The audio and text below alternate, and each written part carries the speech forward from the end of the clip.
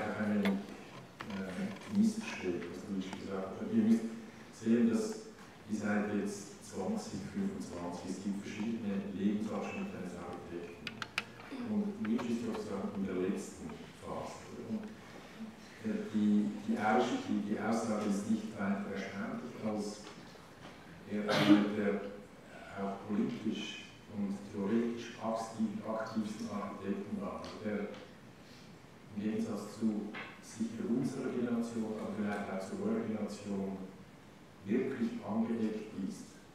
Also nicht nur als Architekt, als Künstler, sondern auch als politisch denkender Mensch, als Teil, was sich äußernder Mensch gegenüber der Gesellschaft. Und es ist natürlich so, dass äh, die Arbeitsbedingungen, die wir heute haben, oder schon die Arbeitsbedingungen, die